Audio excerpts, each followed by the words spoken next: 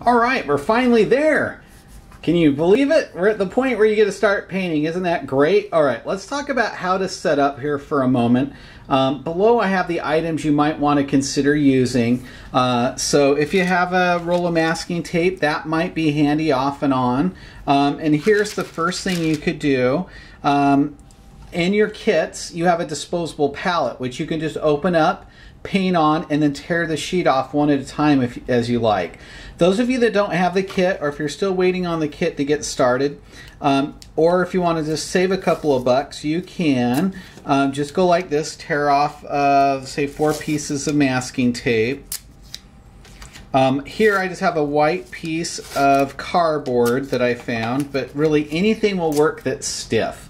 Um, and uh, a white piece of, of uh, cardboard will work really well. Uh, it doesn't really matter though, but something kind of neutral is nice. Um, so now what I'm going to do is I'm just going to take this and I'm going to tape um, this wax paper, which you can pick up at the dollar store, or Albertsons, or where, really just about any uh, grocery store is going to carry it.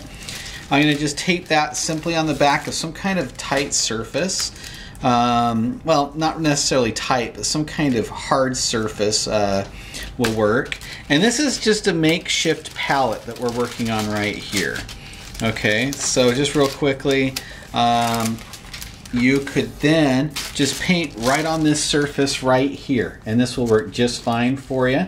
And then um, when you're done, you can just unpeel that masking tape and save your cardboard and throw that away, and that will be your, your palette or your mixing surface.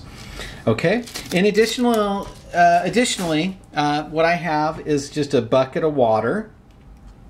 Uh, this bucket of water is just a plastic container from a, a thing of uh, nuts that we got at, at Costco. And the reason I mention that is just any kind of container that's plastic. If you end up with a glass one, it's like Murphy's Law. It's somehow it's going to be broken, unfortunately. It will fall over. Uh, the plastic ones uh, fare a lot better for that reason, okay? Uh, so keep that in mind, some kind of plastic container. Try to have something a little bit bigger than a Dixie cup if you can help it. You want something that's going to hold a little bit of water.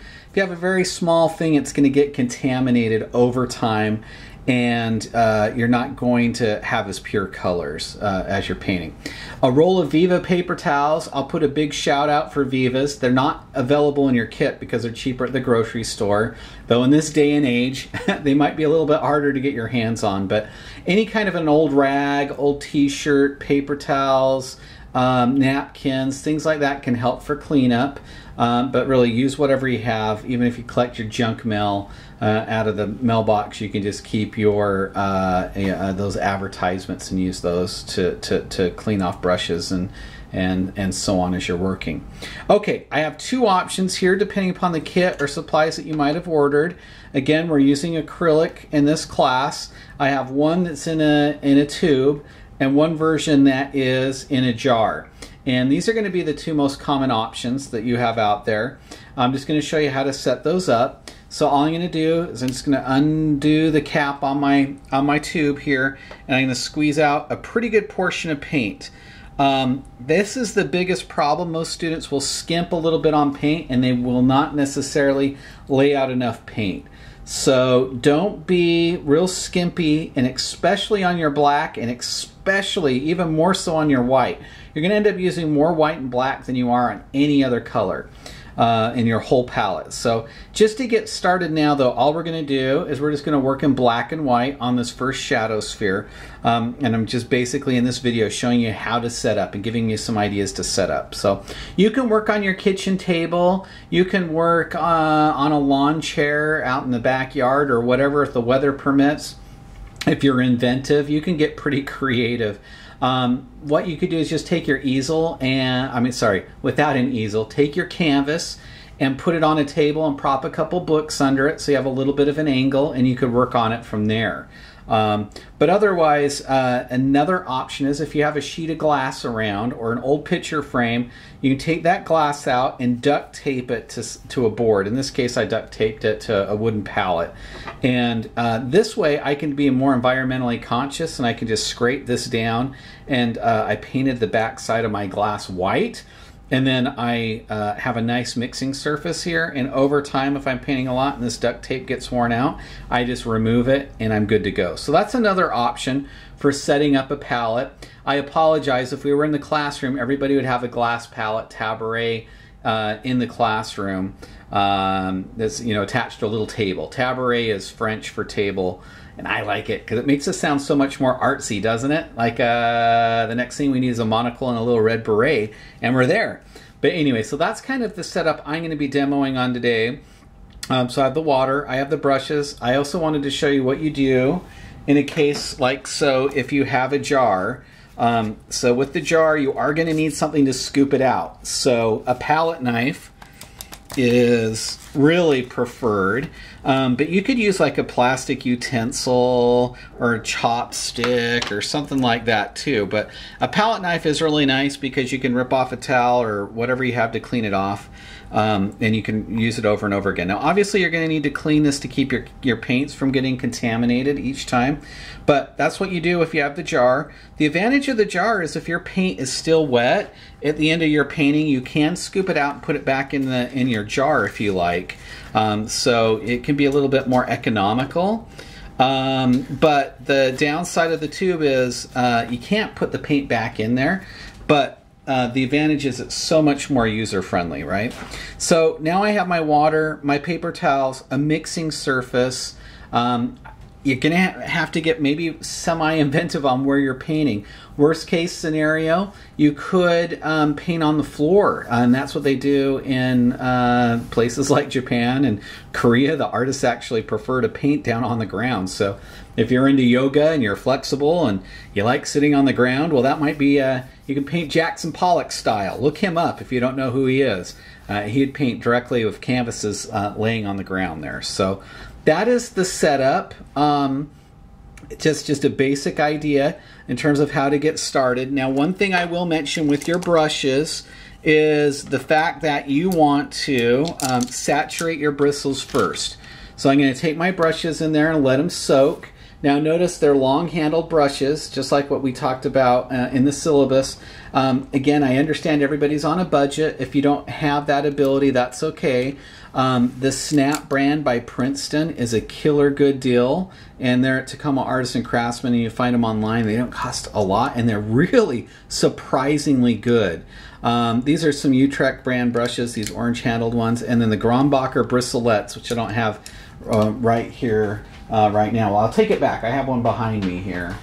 This is the Grumbacher bristlette brush. This is my favorite brush. It's built like a tank.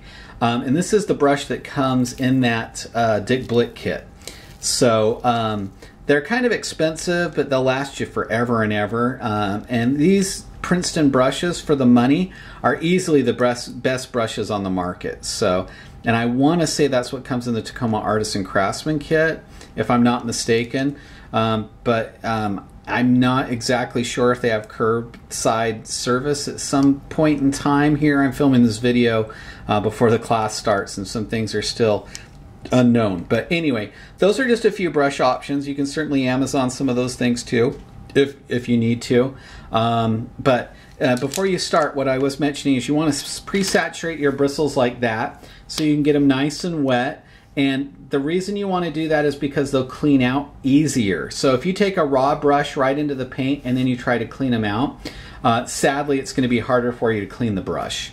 So uh, keep that in mind. Uh, the other thing I'm going to mention is what I'm doing right here, I don't want to do long term, and that's leave my brushes submerged in the water. So the problem with that would be the fact that um, the the ferrules on the brush here, this metal part, would start to rust and wear out. The hairs will start to seep out, and um, uh, the other thing that will happen is if you have um, brushes that are designed for uh, oil painting, they'll start to swell and, and fan out like that. So really what you want to look for are these synthetic fiber brushes and you want to stay away from the bristle brushes because those are not made to get in contact with water. They'll swell and fan out. Uh, those are made to only come in contact with things like linseed oil, mineral spirits, um, flower oil, and the, and the like. Okay, uh, but anyway, these are just a couple of brushes. This is a simple setup. We're keeping it really simple here at first. All you need is some kind of mixing surface. Can be wax paper, could be uh, an old kitchen plate. Um, could be an old glass uh, section from an, a mirror, something like that. I would recommend taping it to a surface so if it does break, uh, you don't have shards and things like that everywhere. So be kind of careful. This is just a thin sheet of plate glass that I, I, I uh, taped down. So that's going to be about it in terms of getting started. Um, here in this next video, I'm going to show you what your first assignment is, and we'll take it from there. Um, Message me if you have any additional questions uh, in terms of setup. Now, as far as cleanup, what you're going to want to do is take most of the paint out of your brush with that paper towel or newspaper or whatever you have, okay, and pull most of that paint. So we can imagine it's time for me to clean up. I'm just to grab a Viva. Oh, love these Vivas. All right, so I'm to grab a Viva. We'll imagine that this paintbrush here is really dirty. I'm to go like this and pull out most of my paint out of the bristles of the hair, like just like so. Remove that paint. Um, as far as the container of water, um, I, I would say if you can avoid sending that down your own drain, uh, maybe just dump it outside uh, somewhere where you feel it's safe.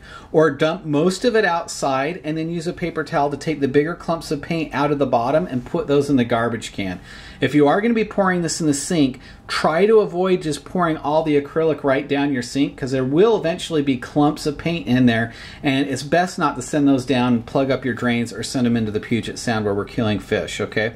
So um, the thing is, just be mindful about how you're disposing of your water. It is just water, and as long as it's thinned out, you're going to be okay. But you don't want to be spent sending big clumps of paint down there.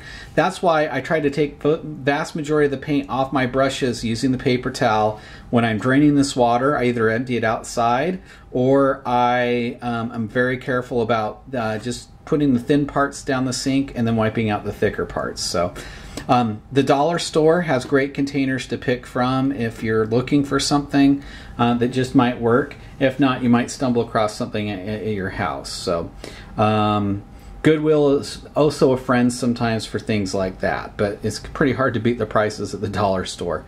Okay, um, I think that's going to get be enough to get you going on this first assignment. All right, head on over to the next video and find out what we're doing and set up your paints and we're finally going to have fun. All right, here we go.